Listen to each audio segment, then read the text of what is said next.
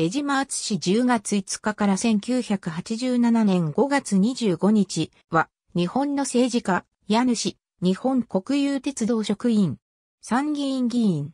山口県下関市出身、江島哲夫の長男、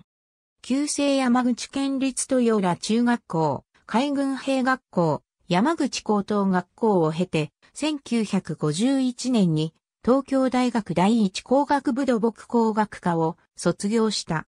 卒業後は日本国有鉄道に入り、東京鉄道管理局施設部工事第一課長、外務省サンフランシスコ総領事館領事、国鉄建設局計画課長、広島鉄道管理局長などを歴任。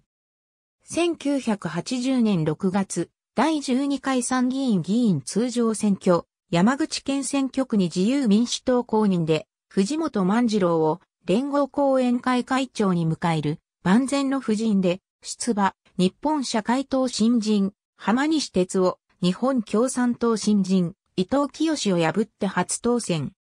1986年7月の第14回参議院議員通常選挙でも日本社会党新人、山本進、民社党新人、上村照夫、日本共産党新人、山本春彦を破って再選し、連続に期務めた。参議院自民党副幹事長、第二次、中曽根内閣の大倉政務次官を務めた。1987年、59歳で死去した。